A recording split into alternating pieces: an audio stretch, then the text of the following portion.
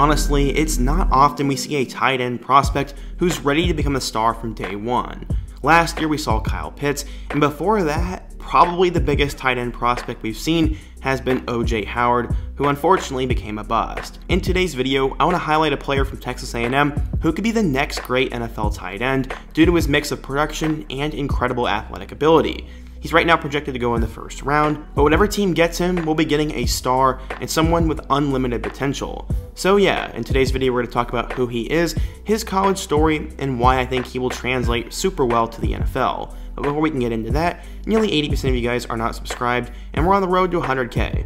So, quickly be sure to hit that subscribe button, smash that like button for the algorithm, and turn on post notifications so you never miss when I upload. Now, let's get started. So you're probably wondering who the subject of today's video is, and it is none other than Texas A&M tight end Jalen Wydermyer. But before we can talk about him, drop what draft prospect I could do in my next video, and let's go back in time. So to really understand this story, we need to go back in time and meet his dad, Vincent Wydermyer. In an interview, he was asked to relive his glory days. His mind would wander for a little bit, then he recalled it was last year. At the time of this article, that was after Jalen's freshman year of football, and honestly, it all makes sense. 40 years ago, his dad was a star running back at Dickinson High School, and he made more than a few highlight reel worthy plays. While he was really good, he pretty much kept it on the down low. He had eight kids, and they probably would have bragged about their dad's athletic traits, but they didn't really know about him. His dad said, quote, I don't think any of my kids really knew. They'd only heard some things through people in the neighborhood who knew me. In the town, a local friend by the name of Michael Clerk had this to say, Quote, Vincent was amazing. I remember things he did on the field that were incredible. If you could get a look at some old films, you'd be amazed. His footwork and the moves that he did as a running back were incredible. But a couple decades later, his son Jalen would top all of his achievements, and it meant a lot more to Vincent than anything he did himself. And it wasn't like his dad wasn't a big deal, as he actually earned a scholarship to play at Texas Tech at the cornerback spot. That didn't end up working out though, so he joined the military, more specifically the Army. After leaving the service, his dad returned to Dickinson and started a career as a specialist at a chemical plant. Then he would settle down and start a family, and he had four girls and four boys, and all of his sons were athletically gifted and played college football at some level. The biggest difference was that his first three sons were similar to his dad at 6 foot 1, but Jalen was different. He was that height in 8th grade. There was one moment in particular that made Vincent believe his son was going to be special. He said, quote, he made a run one day, faked out a lot of people, and stiff-armed a guy. I knew he could play college football, I just didn't know he kept getting bigger. He was 6 foot 1 at that time. So yeah, from there Jalen began to play both football and basketball, but one sport really took his heart. He said, quote, I knew for sure once I started getting offers from all around the country that I was going to pick football. But I'm a pretty good basketball player too, I would say. He blew up at Dickinson High School and was now seen as one of those rare hybrid players, and schools from all over the country wanted him.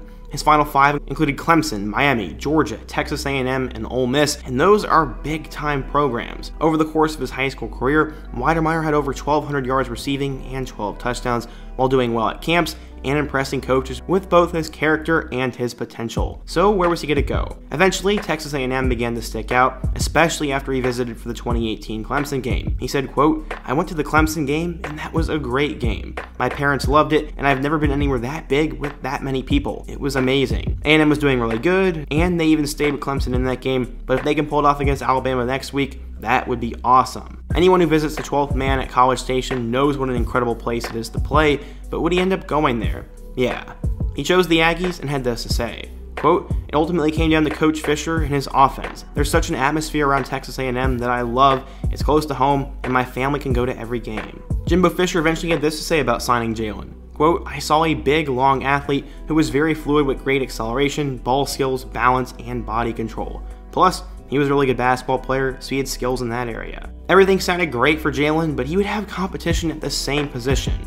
They signed a top 50 guy who was a five star in some sources by the name of Baylor Cupp. How would this affect Jalen's career? Well, it wouldn't have any impact as it turns out, but we have some more to talk about before then. Scouts were pretty high on him, as according to 24 7 Sports, he was a four star recruit, the number 15 tight end, and the 359th best player in the class of 2019. So, how would he do at Texas A&M? Well, going into the 2019 season, the Aggies would have to replace tight end Jace Sternberger, and Baylor Cupp was supposed to be the guy to do that, while Jalen would sit on the bench.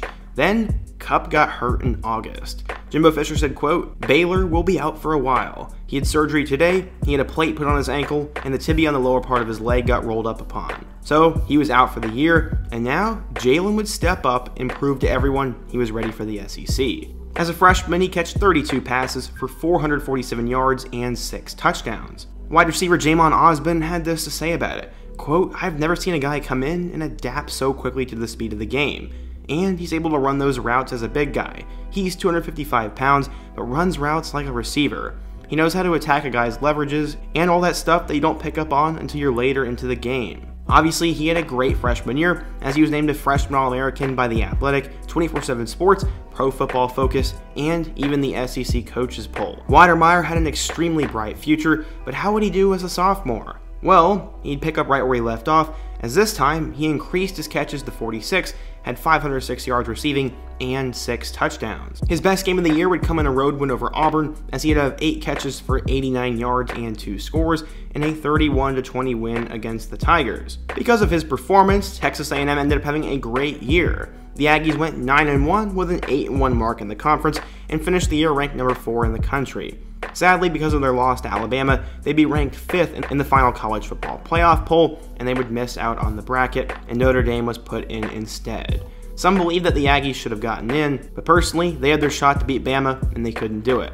Wydermyer once again had a great year, and going into 2021, he was seen as a preseason All-American, the number one tight end in the 2022 draft class, and someone who could help Texas A&M get to the playoff. How did he do in 2021? Well, he had 40 catches for 515 yards and 4 touchdowns. It was a little bit underwhelming if we're being honest. Yeah, Haynes King went down with an early injury, but Zach Calzada wasn't that bad, and I don't know if I blame the quarterback fully for this. His best game of the year came against South Carolina, as he had 4 catches for 75 yards and 2 touchdowns, but outside of that, it really wasn't anything super spectacular. He would put his name into the Texas A&M record books though. For his career, he caught 118 passes for 1,468 yards and 16 touchdowns. That was the most touchdowns for a tight end in school history. He's also ninth all time in receiving touchdowns. Obviously, he was NFL ready, and he would have opted out of the bowl game, but they didn't even have one. He said to the fans, quote, Aggie Nation, 12th man in the entire College Station community, from my first visit at campus, it felt like home. Thank you for making me one of your own. Right away, Wydermyer was seen as the top tight end prospect in this year's draft class, and personally, I have him ranked as the top one too. At 6'5, 265 pounds, he's one of those tight ends that could make an immediate impact, and he's my favorite tight end prospect in a little while. Here's what the scouts had to say. Quote, Wydermyer is possibly the most well put together of the tight ends in the 2022 NFL Draft. Standing at 6'5 and 265 pounds, he is an absolute physical specimen. Last season, he demonstrated that he could put that frame to use as he was a physical blocker, which had not been apparent as a freshman. What had been clear early on was his ability as a pass catcher. Wydermyer has excellent hands, displays excellent route running, and can put his height to exceptional use as a threat in the back of the end zone. So basically, this guy's a tall, athletic guy who's going to catch passes and be a great target in the red zone. Pretty much sounds like he'll fit on any offense in the NFL, and the only teams that wouldn't need a guy like him are franchises that already have a tight end. I can think of many pro teams that could use his talents, but either way, I think he'll get taken in the late first round or early second round, and he's someone who I'm really looking forward to watching next year. What do you guys think though? If you're a Texas A&M fan, what do you think of Wydermyer? Who is your favorite tight end in the 2022 draft class? And what prospect should I take a look at in my next video? Be sure to let me know down below, smash that like button if you want to support today's video, and check out all my other videos on the end screen, including my draft videos. I hope to see you guys again soon, but until next time, peace.